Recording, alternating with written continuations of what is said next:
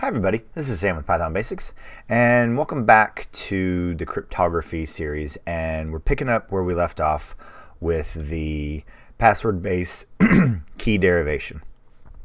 So this video today, I want to talk about the salt.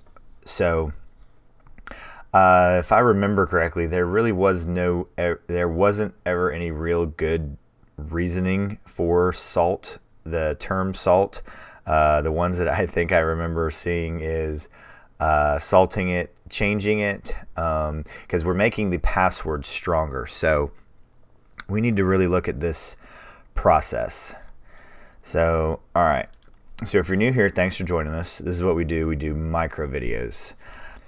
So in cryptography, we have to have a starting point. So we need to randomly generate this starting point. This is called initialization vector. So, all right, you would think, okay, we can just come up with a random number.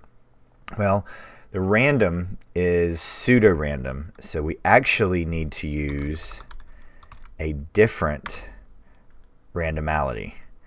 And um, the process that we're going to use is we're going to use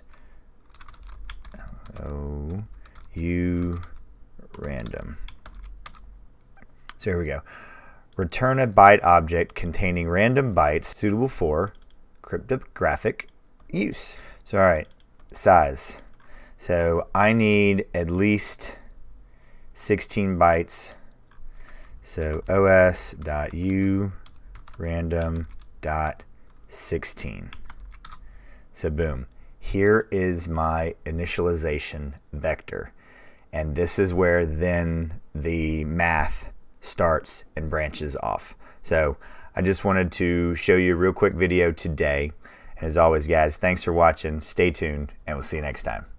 Bye, guys. Hey, guys. Thanks for joining us today. I hope you really enjoyed today's video. And if you haven't, check out this video right here or this one right down here.